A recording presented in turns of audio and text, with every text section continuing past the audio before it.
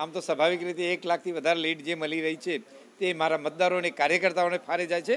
એમણે જે ધૂમ તાક પર અને ભારતીય જનતા પાર્ટી પર વિશ્વાસ અને એનો જે આગળ વધ્યો તો નરેન્દ્રભાઈ પર વિશ્વાસ મૂકી અને જે મને વોટ આપ્યા છે ત્યારે મતદારોને પ્રજાનો જેટલો આભાર માનું એટલો ઓછો છે.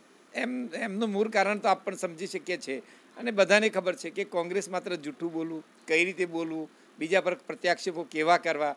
ભૂતકાળમાં લોકોએ ભ્રષ્ટાચાર કરવા સિવાય કશું કર્યું જ નથી. એટલે એમનામાં જે લોકો સમજે છે મતદારો કે કોંગ્રેસના લોહીમાં ભ્રષ્ટાચાર છે આદરે નરેન્દ્રભાઈએ એક પણ ભ્રષ્ટાચાર કર્યા સિવાય પાંચ વર્ષ પૂરો કર્યો હોય.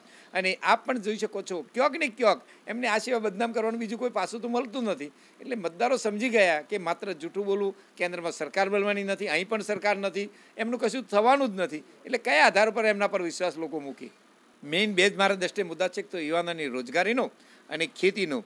આ બંને જિલ્લાઓમાં આ જે ટ્રાઇબલ વિસ્તાર છે. અથવા તો જે ઓબીસીનો વિસ્તાર છે અથવા તો જે સૂકો વિસ્તાર છે, જ્યાં પાણી સિવાય છે, એમને કઈ રીતે પાણી આપવું, એ મારો મૂળ મંત્ર છે. મેં ભૂતકાળમાં પણ કહ્યું હતું. આદરણે પીએમ સાહેબને પણ વાત થઈ હતી ને એમના સ્પીચમાં એમને કહ્યું હતું કે પાણી માટે આખું એક અગલ મંત્રાલય નિમવામાં આવશે. તો એનું મૂળ કારણ સાબરકાંઠા છે એમ કહું તો કંઈ ઓછું નથી. આપણે જ કહ્યું હતું કે ગમે એમ કહીને આ બધા લોકોને જો એગ્રીકલ્ચરમાં ફોરવર્ડ કરવામાં આવે, તો જ સફળતા મળે. લોકોને જો આપણે આગળ વધારવા હોય, સુખી કરવા હોય, તો માત્ર ને માત્ર એક જ એવો મુદ્દો છે કે જે સિંચાઈથી કરીને ખેતીમાંથી જ ઉત્પાદન વધારે મળે તો જ સફળતા મળે.